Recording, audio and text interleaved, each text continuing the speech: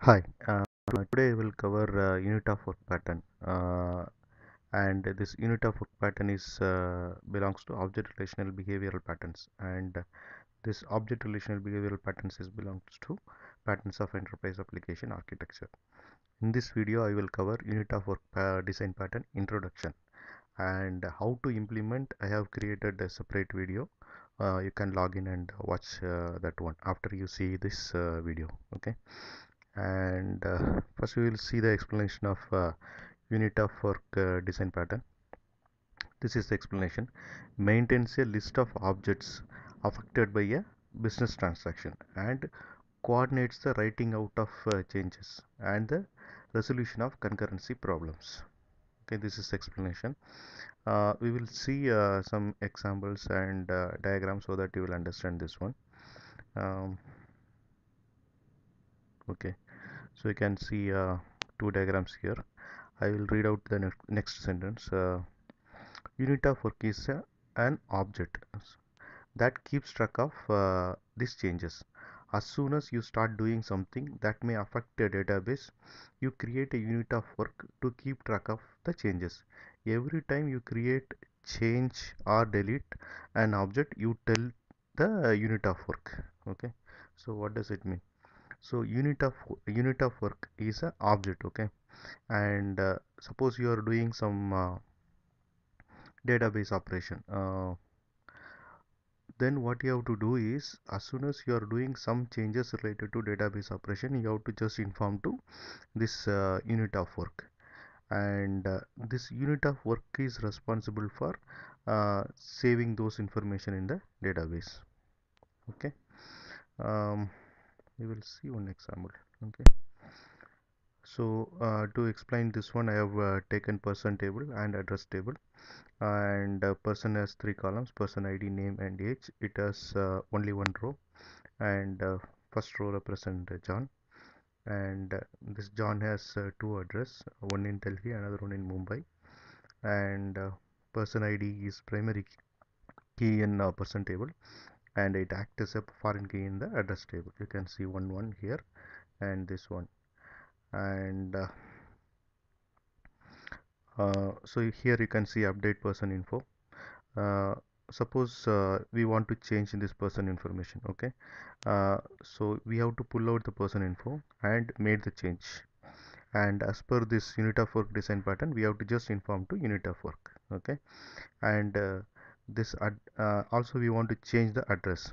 So you have to pull the address information and made some change and then just inform to unit of work object.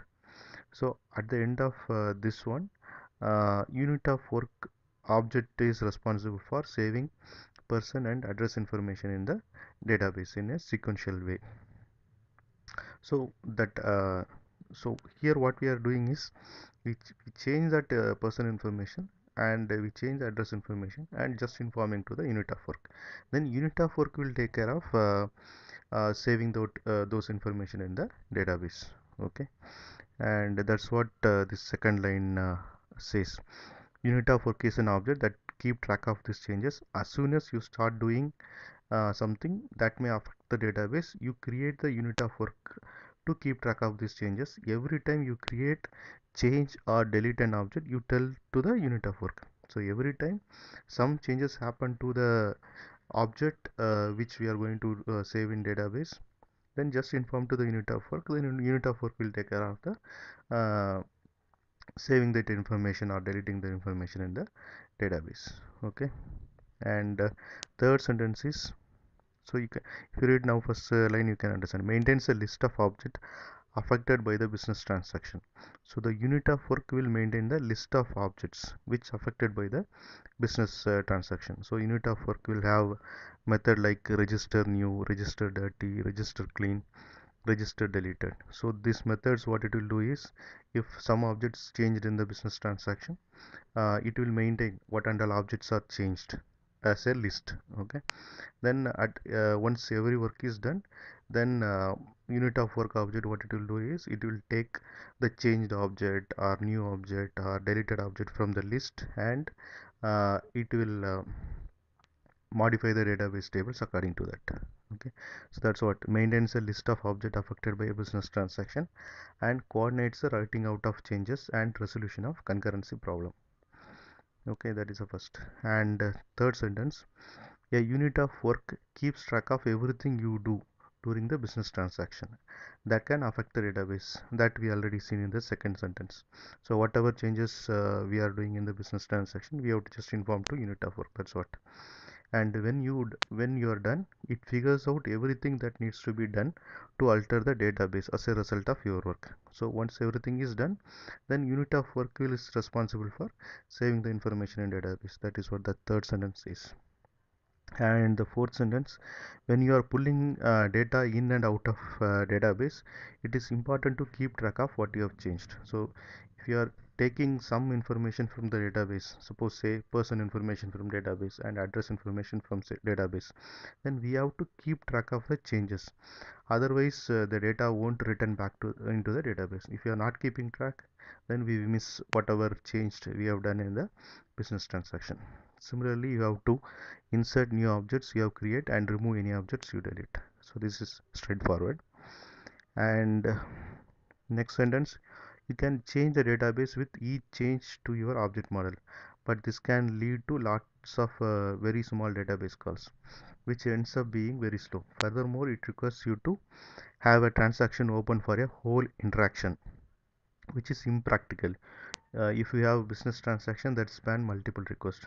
So what this sentence says is uh, see we are pulling the person info and made, made the change. Instead of informing to the unit of work uh, object we can directly save the information. Like that we can pull the address and make change directly save the information in database. But if you are doing this one then suppose like that uh, some 100 objects are there then 100 times we are calling the database.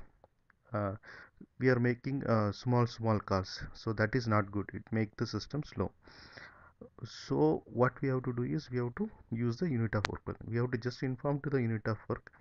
Then at the end of that one unit of work will do uh, database uh, calls in the one shot.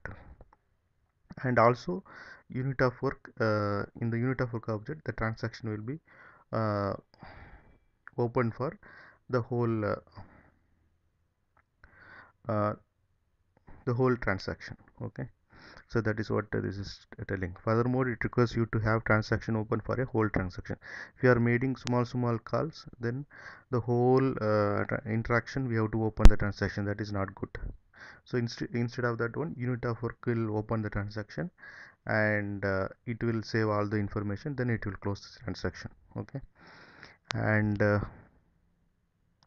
Usually pattern is implemented by data access framework like entity framework. Uh, usually this unit of work pattern uh, is implemented by uh, the framework like Hibernate all those things. So we no need to write actually.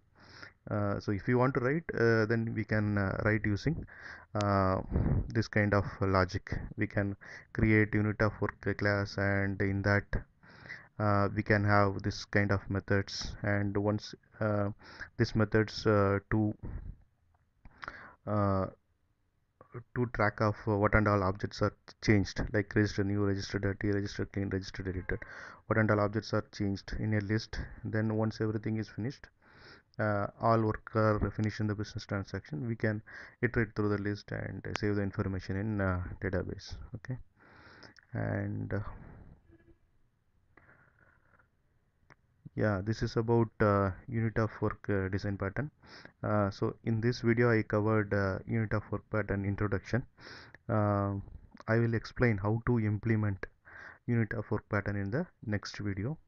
Uh, please log into my channel and watch unit of work pattern implementation. And thanks for watching. Bye